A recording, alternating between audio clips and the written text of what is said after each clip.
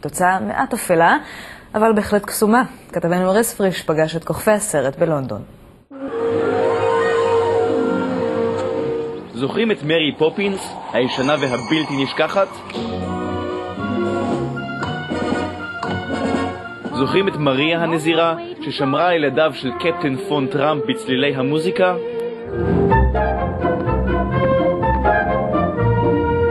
אז קבלו את גרסת שנות האלפיים, לדור הצעיר שאינו מכיר את שני הסרטים הקלאסיים האלה. אמה תומפסון, שאיבדה את התסריט למסך הגדול, הופכת לאומנת הקסומה שמגיעה לחיק משפחת בראון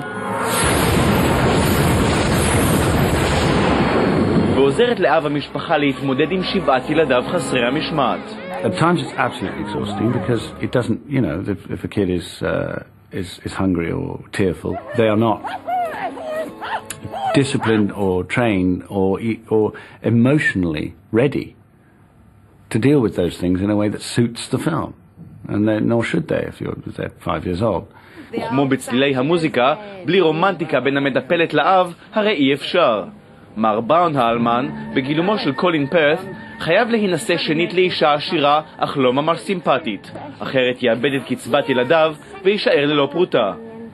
וכדי לפתור את כל התסבוכת הזאת, נכנסת לתמונה האומנת מקפיא.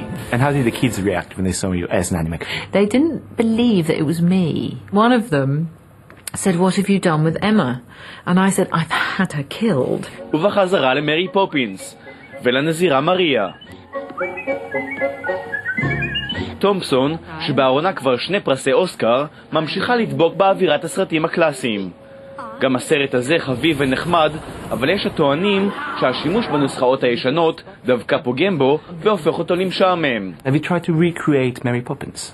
I don't think it's anything like Mary Poppins, um, the film. I stole certain elements from other fairy tales like Cinderella and like Pygmalion and My Fair Lady, you know, because all storytellers repeat by stealing.